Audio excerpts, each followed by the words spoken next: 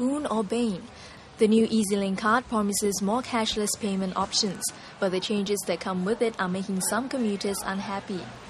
Honestly, a hassle for people to change, and like why not like integrate a new system which like, incorporates both the new and the old, so people don't need to change. Right. But the three dollars is quite irritating sometimes, uh, because like when you're rushing for the train and you still have money inside, but you can't enter, you have to top up. So yeah. Everybody will be will be using it. You'll have to pay for the administrative charges. So I think it's okay lah.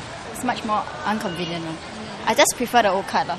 Well, there's uh, there's definitely some border. At the end of the day, we are Singaporeans. I don't, you know, what can we do? Apart from paying for train and bus fares, cardholders can use it to pay for items bought from certain convenience stores and fast food joints. Eventually, the card can also be used for electronic road pricing and electronic parking system car park payments.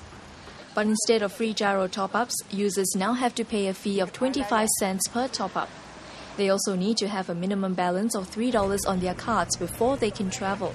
To sign up for the GIRO top up service, applicants also need to fill out forms manually and wait for up to 21 days for approval. Previously, the application could be done immediately at any add value machine.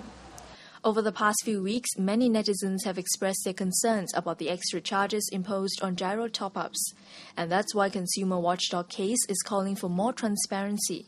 EZ-Link have not explained why certain top up are free and certain top up need to be charged.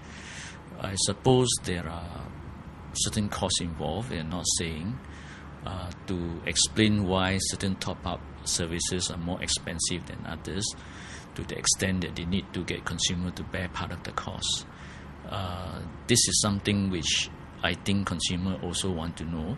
So there is need for explanation basically uh, to uh, gain the confidence of consumers. When contacted by Razor TV on Monday, EZ-Link did not respond. However, in an earlier reply to the Straits Times forum page, the company explained the 25 cents levy is necessary to recover costs for providing the GIRO top up service. Like it or not, the new EZ-Link card is here to stay.